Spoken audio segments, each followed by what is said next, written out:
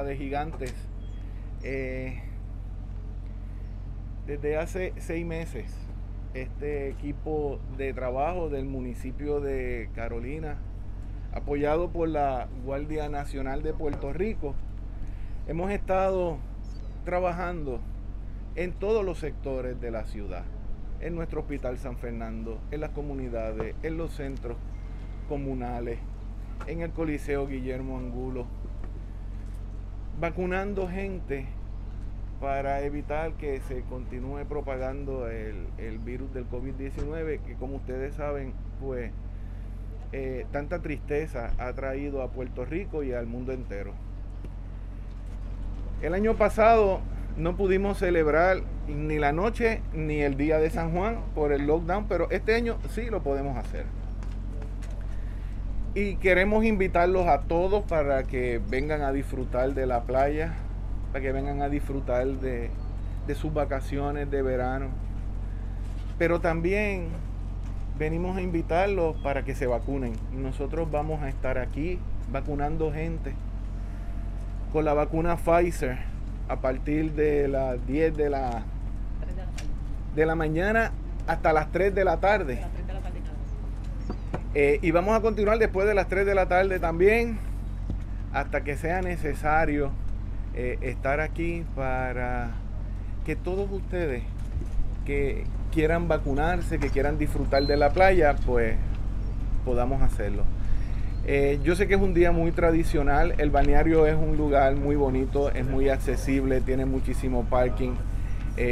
Pueden venir a hacer las dos cosas, a disfrutar con su familia de un precioso día y de una noche de San Juan espectacular y de una vez aprovechar y ponerse su vacunita, porque la salud eh, es, responsabilidad de todos y nosotros con esto lo que queremos es ayudarlo a usted a que esté saludable y contribuir con, su salud. Así que los esperamos aquí con los brazos abiertos, como siempre. Eh, eh, todo nuestro componente de seguridad va a estar aquí para mantener todas esas medidas de seguridad tan necesarias durante la noche y el día de San Juan.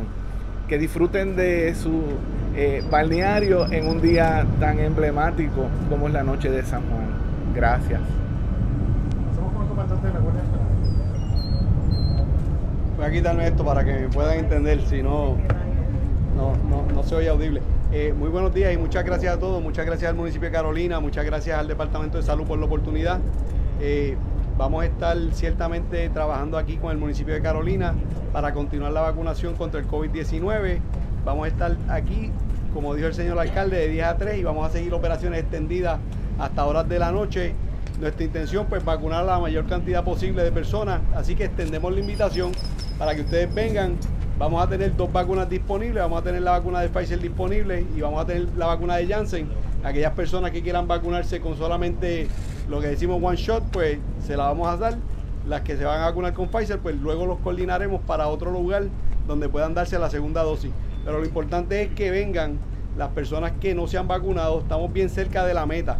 Eh, nosotros estimamos que ya tenemos unos 2.1, 2.2 personas, millones de personas vacunadas aquí en Puerto Rico con primeras dosis, más o menos 1.9 con segundas dosis. Estamos bien cerca y entendemos que antes del 4 de julio, como dijo el presidente de los Estados Unidos y ha dicho el gobernador aquí en Puerto Rico y lo emulan los municipios, debemos tener esa inmunidad de rebaño ya completada con ese 70%, que es lo que queremos, para podernos quitar estas mascarillas y poder retomar la vida de una manera normal, tal vez un poquito diferente a como era antes, pero de un poco lo más normal posible. Así que les agradecemos que vengan, lleguen aquí al balneario de Carolina, la Ciudad Gigante y pues aquí vamos a estar disponibles pues para llevar a cabo la vacunación y gracias por la oportunidad de parte de este servidor y del ayudante general de la Guardia Nacional, José Juan Reyes. En términos de seguridad y el parque operativo que tiene el municipio de Carolina para el día de mañana, voy a pasar con el comisionado de la Policía Municipal, Rubén Moya. Buen día a todos.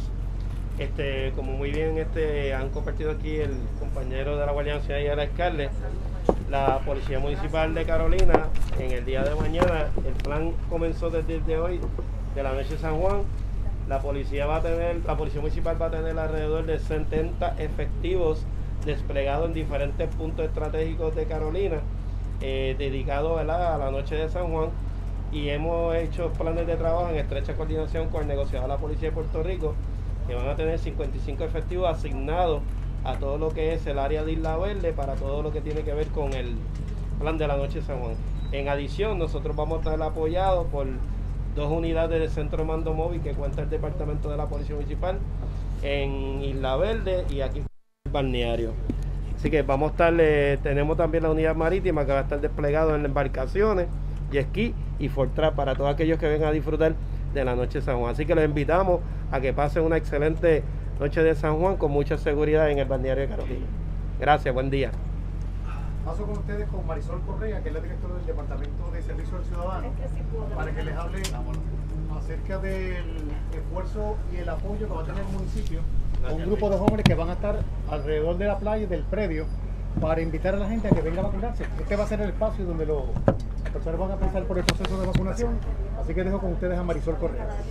Si bien además del personal eh, de la Policía Municipal y de la Guardia Nacional, tenemos unos recursos del municipio de Carolina que son unos alrededor de unos 40 personas adicionales que van a estar distribuidas a través de todo el litoral de la playa, orientando sobre el alcance de la vacuna y la necesidad de llegar a ese por ciento de vacunación que necesitamos para lograr nuestra ansiada inmunidad de rebaño, inmunidad comunitaria. Bien importante que vamos a estar llegando y contactando a cada una de esas personas que están en el área de la playa. No solamente vamos a estar aquí esperando, sino que vamos a ir a alcanzarlos para convencerlos, ¿verdad?, de, lo de la importancia de esa vacunación.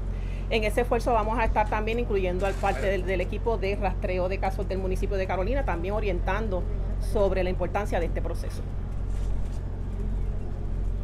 Vamos a pasar ahora a las preguntas. Los medios. ¿Para, ¿Para, cuántas personas Vamos a hay Sí, ¿para cuántas personas habrán vacunas y cuántas esperan quizás poder impactar? Volvemos. No es- para el alcalde también, ¿cuánta gente espera una noche de San Juan Luis, me dejaste. en medio de la pandemia, verdad? Luis, me dejaste. Ah, te dejé, perdón. No sé, verdad, pero. Ah, no. Tenemos sobre mil vacunas, pero tenemos en los almacenes guardados la cantidad que se necesita. De Muy bien. Eh, contestando a su pregunta, eh, eh, la noche de San Juan es bien concurrida. Por eso es que queremos aprovechar esta oportunidad que nos brinda el evento para ofrecerle a la gente la, la vacunación. Vamos a tener sobre mil vacunas aquí disponibles. En caso de que sea necesario, los almacenes de suministros de vacunas de la Guardia Nacional van a estar activados y de ser necesario pues traeremos más vacunas. Pero siempre esperamos muchísima gente en, esta actividad. Así que les exhortamos, ¿verdad?, a que hagan ambas cosas, que disfruten de- del balneario, de- del tradicional evento y que también pasen por aquí, se vacunan y siguen disfrutando y hacemos dos cosas. Logramos esa meta que, que el mundo entero quiere eh, lograr, que es lo que se llama la inmunidad comunitaria o inmunidad de rebaño, que estamos cerca de lograrlo. Disfrutamos en familia del verano y de una tradición como lo es la noche de, de San Juan. ¿A qué se deberá, verdad? ¿Ustedes creen que tienen contacto, verdad, con las diferentes personas? ¿A que esta gente todavía, aún con la, la educación, lo que se, la- de las campañas que se han llevado a cabo, todavía se resisten a, a vacunarse? Pues mira, es miedo, Miedo. es miedo. Eh, por aquí están las gráficas, ustedes creo que la pueden ver. Si ustedes miran esta grafiquita que está aquí, cuando comenzó la pandemia, eh, allá en abril, tuvimos un pico en diciembre. Tan pronto comenzamos la vacunación, con excepción del mes de abril de este año, inmediatamente los contagios comenzaron a disminuir. Así que la vacuna ha probado ser un, un medio muy efectivo para combatir este virus, como lo ha sido para combatir muchísimas enfermedades. No hemos tenido reacciones, las personas que estamos aquí, todos estamos vacunados, no hemos tenido reacciones, gracias a Dios. Nadie nos ha reportado algo más allá de un simple malestar general o un poco de dolor de cabeza o, algún dolor en el área donde se suministró la vacuna. Así que realmente es miedo. Yo creo que eh, debemos, ¿verdad?, ser responsables con esto porque la gente, no- nadie ha muerto de la vacuna, la gente muere por el virus. Y, y debemos tener esa, esa certeza, esa, esa confianza de que la vacuna es el instrumento que necesitamos para vencer esta pandemia y dejar atrás estas cositas que se llaman mascarillas. Sí, tenía una esto es mañana, ¿no? Mañana, vamos a comenzar mañana desde las 10 de la mañana. Nosotros vamos a estar aquí desde las 7. Eh, todos los planes de seguridad de la ciudad, como explicó el comisionado Mollero, comienzan a las 7 de la mañana. De hecho, ya está eh, el equipo de la Policía Municipal Marítima en el agua con su jet ski, con su embarcación, con su salvavidas. Nosotros estamos preparados como todos los días, pero vamos a comenzar mañana. Vamos a estar mañana eh, aquí a las 7 de la mañana, pero vamos a comenzar la vacunación a las 10 de la mañana. La otra pregunta es para Guardia Nacional. Quería saber si ustedes van a tener un esfuerzo similar mañana en algún otro sitio, algún otro balneario, algún otro lugar público, esfuerzo de vacunación. Por lo menos por la parte de la Guardia Nacional vamos a estar aquí, pero sí el Departamento de Salud tiene otros, eh, otros eventos que van a estar coordinando en el área del condado, donde también van a estar vacunando. Siempre estamos llevando a cabo eventos también en el aeropuerto Luis Muñoz Marín, en el aeropuerto de Aguadilla, en el aeropuerto de Ponce. Eh, sí, estamos llevando otras actividades coordinadas también con otros municipios y como dijo el alcalde, ya estamos saliendo afuera a buscar a las personas, donde quiera que estén que necesiten la vacuna, allí se la vamos a ir a llevar y es pues cuestión de hacer coordinaciones.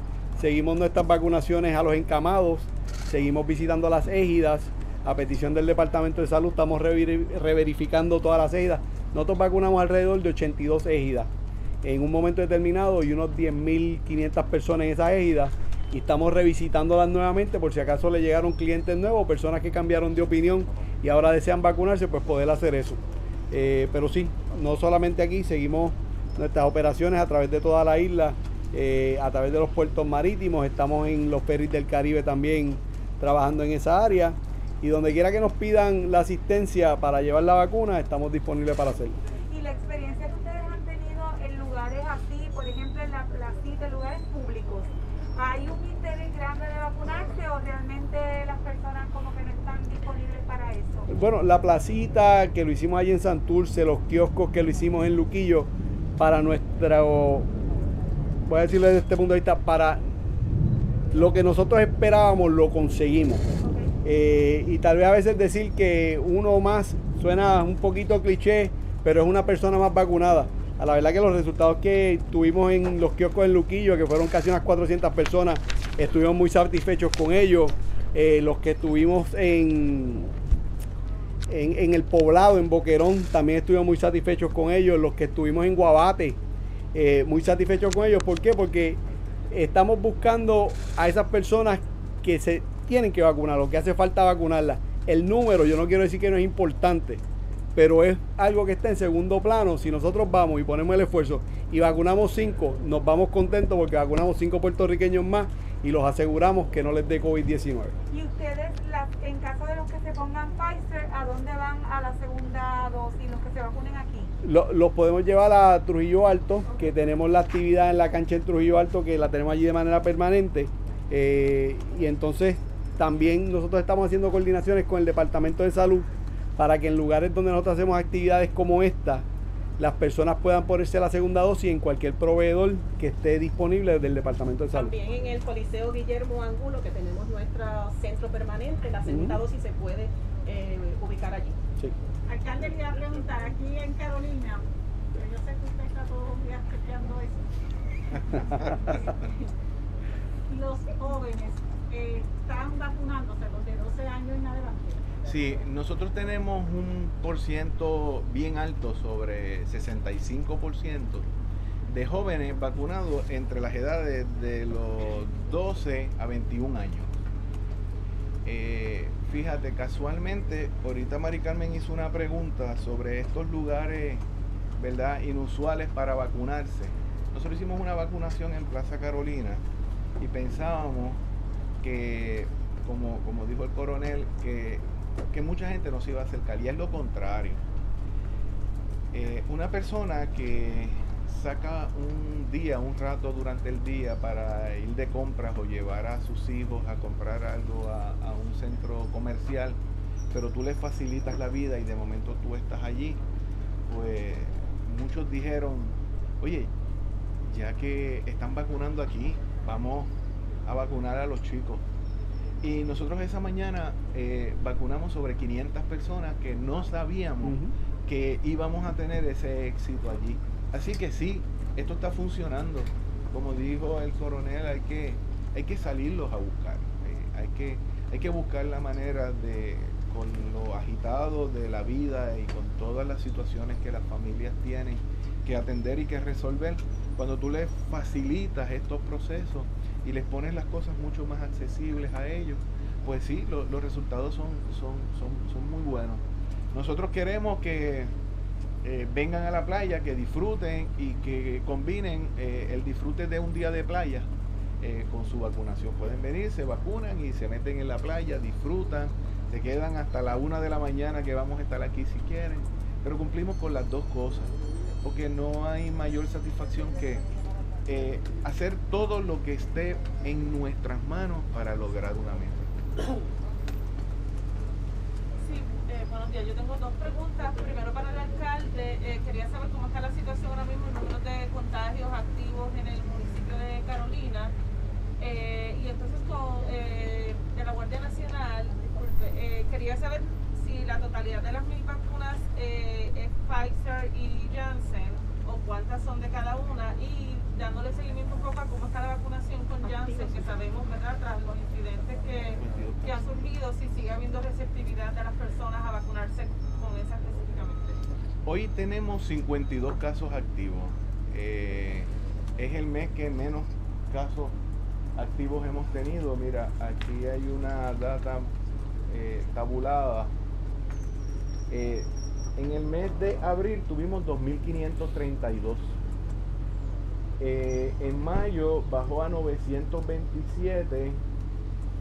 En junio, en todo lo que vamos del mes, tenemos 257 casos. Y hoy eh, tenemos 52 casos activos. Fíjate cómo ha ido eh, reduciéndose la cantidad de casos activos a medida que vamos avanzando en el proceso de vacunación. Con referencia a tu pregunta, vamos a tener 500 y 500 disponibles. Eh, pero como señaló el señor alcalde, yo tengo el hub de distribución aquí en Buchanan.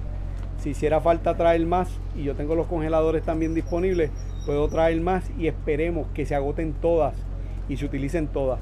Con relación a tu pregunta con la receptividad de Janssen, eh, como bien dijo de nuevo el alcalde, voy a referir a sus palabras, educación.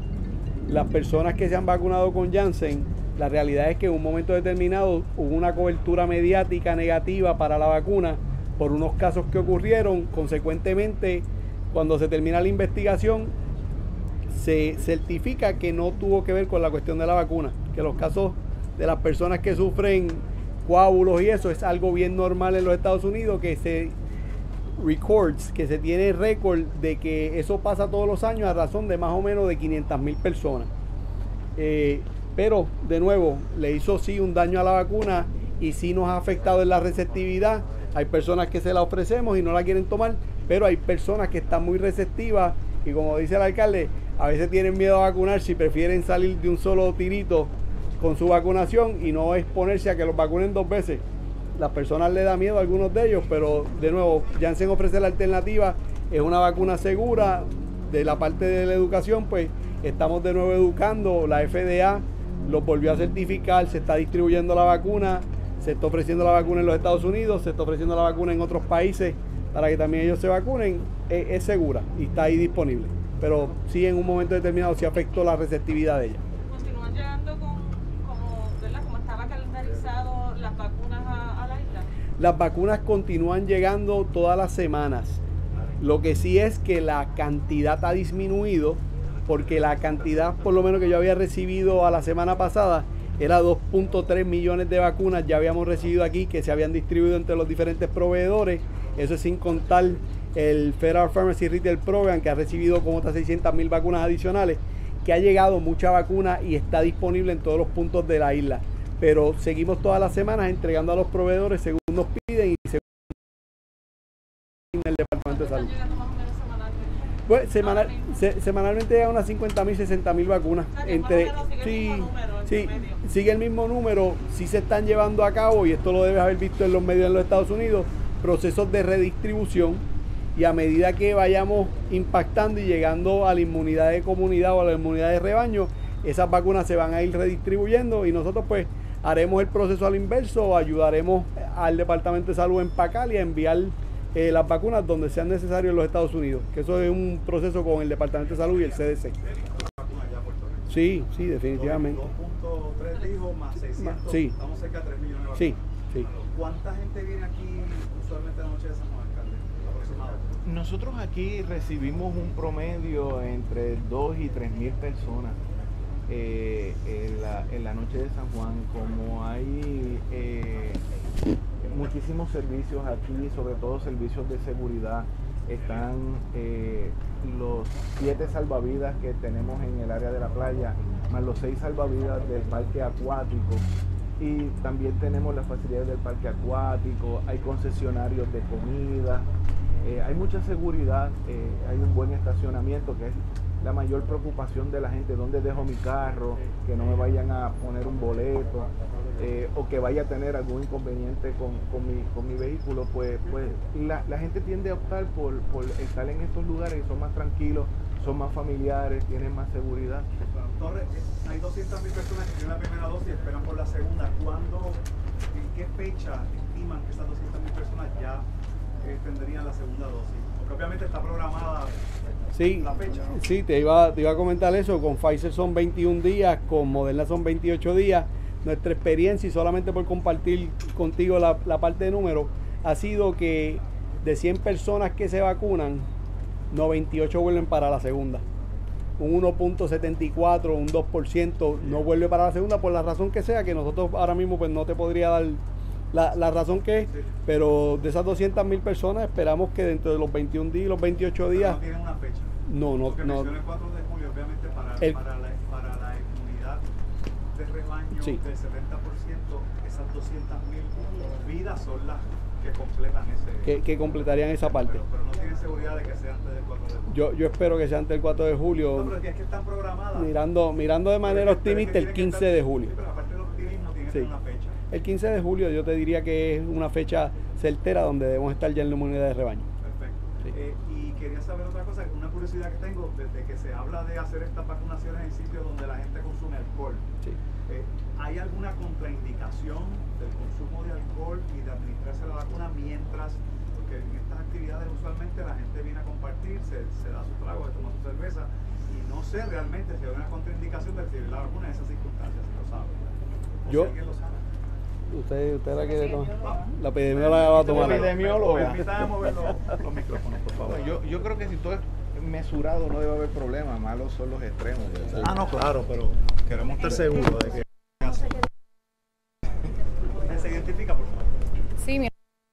la epidemióloga del sistema de rastreo de Carolina. Pues sí, hay contraindicaciones para, para la vacuna. Se supone que cuando reciban la vacuna, pues no, no ingieran alcohol, porque puede causar efectos adversos. Aparte de que la vacuna causa algunos efectos secundarios, el mezclarlo con la bebida puede empeorar, empeorar eso- esos efectos. Así que no se recomienda, pero es mejor vacunarse que estar por ahí y exponerse con COVID luego de. O sea que aún así eh, se le administraría a la persona por, la, por miras a que al menos esté vacunado. Digamos, Sí. quizá la efectividad pueda... Sí, ya eso es responsabilidad de, de la persona que, que se va a hacer la vacuna. Yo quería preguntar a la Guardia Nacional, ¿hasta cuándo ustedes van a mantener abiertos los centros de vacuna que han tenido? Voy a aprovechar para comentarte. Centros fijos de vacunación, la Guardia Nacional al momento continuamos nuestra operación en el Pedrín Zorrilla que va a continuar hasta este viernes y entonces va a cerrar. Eh, continuamos una operación hasta el 31 de agosto en el Centro de Bellas Artes en Caguas Eh, y tenemos pues la operación que tenemos en el municipio de Trujillo Alto. Esas son las operaciones que nosotros manejamos. Continuamos nuestras ¿Y operaciones. cuándo va a estar Trujillo Alto? Trujillo Alto lo tenemos abierto también hasta fin de agosto como tal. Igual que el Centro de Bellas Artes de Igual que el. Centro de Bellas ¿Y Artes de después Cagua. de eso, ¿dónde se va a vacunar? ¿Cuáles son las alternativas? Eh, Las alternativas pues son tus proveedores tradicionales. Nosotros que somos proveedores no tradicionales dentro del plan del Departamento de Salud, nosotros contemplábamos que en algún momento estos centros iban a cerrar y estábamos claros en eso. El Departamento de Salud empezó con unos 320 proveedores cuando iniciamos el esfuerzo de vacunación. Ya tiene sobre 600 proveedores disponibles, que quiere decir que una vez nosotros terminemos nuestras operaciones y los centros no tradicionales terminen sus operaciones, las personas van a ir a sus centros 330, sus centros IPA, sus centros de vacunación tradicionales, las farmacias donde típicamente vacunan eh, a los niños y donde se vacunan los, los adultos mayores. Y eso va a ser así aún cuando se apruebe la administración de la vacuna para los menores de edad, que posiblemente sea en septiembre. O sea, ya la Guardia Nacional ahí no interviene. La, la Guardia Nacional, de acuerdo al plan del Departamento de Salud, ese sector que es de 5 a 12 años, que nosotros no lo hemos estado vacunando, no lo vamos a estar vacunando. El, para ser claro, el de Trujillo Alto también es el 31. Eh, para efectos de agosto, sí. 31 de agosto y Caguas. Y entonces Pedro Sevilla este viernes. Este viernes termina el 25. Entonces los centros que ustedes quedan. Los centros que nosotros manejamos, Y correcto. entonces una vez ustedes hagan eso, las neveras que tienen, todo, lo, todo el equipo, ¿qué pasa con eso? ¿Pasa salud? Yo te comento que el Departamento de Salud, en conjunto con el CDC y con HSS, tienen un plan robusto. Esas neveras, una vez nosotros terminemos de utilizarlas, se van a transferir como propiedad al Departamento de Salud y ellos las van a localizar para efectos de la temporada de huracanes y para efectos de uso permanente a unas localidades que ellos tienen, que tienen poder redundante de transmisión y distribución, pues con la gente de Luma y Autoridad de Energía Eléctrica, que tienen generadores y que tienen sistemas redundantes en todos los sentidos. ¿Qué quiere decir? Que estas neveras se van a posicionar alrededor de la isla para tener ahí los abastecimientos de vacunas. En caso de una emergencia se puede hacer distribución desde esos sitios. Y ese plan ya el Departamento de Salud y el CDC lo tienen disponible. Así que a medida que nosotros vamos cerrando nuestros centros, esos equipos se van transfiriendo y moviéndose a esos lugares que ellos ya han especificado. Este, yo quisiera quizás que el alcalde recapitule el llamado de las personas que vayan a disfrutar esta noche de San Juan, que van a encontrar aquí en el balneario de Isla Verde. Vamos a estar mañana aquí en el balneario de Isla Verde desde, tempranito en la mañana, pero la Guardia Nacional va a comenzar a las 10. Eh, durante todo el día los vamos a recibir para que disfruten de este día tan hermoso de playa, pero también vamos a estar aquí para vacunarlos, para darle esa opción de salud a todo aquel que quiera venir a disfrutar de un día de playa. También va a tener esa opción de vacunarse con la vacuna de Pfizer, si es que le gusta la vacuna de Pfizer, o con la vacuna de Janssen, si es que prefieren una sola vacuna. Tienen a escoger, vamos a estar aquí, es, es bien fácil, es bien rápido, se vacunan, disfrutan todo el día en la playa, la pasan bien, la pasan en familia, disfrutan del verano, así que todo eso lo vamos a tener disponible para ¿Y, ustedes y mañana. cuáles son los requisitos este, quizás a-? ¿Cuál que tiene que traer el ciudadano? Los requisitos para vacunación, eh, para vacunarse con Pfizer, es que sea mayor de 12 años, hasta 21 años tiene que venir acompañado con un adulto. Las personas ya adultos mayores pueden venir, tienen que traer una identificación válida. Con esa identificación le vamos a estar llenando la hoja de consentimiento y los vamos a estar vacunando. Bueno, si no hay más preguntas relacionadas, los vamos a invitar a hacer un recorrido aquí en la costa del balneario. Si tienen preguntas no relacionadas al tema, pues vamos a hacer un uno a uno con uno los componentes del,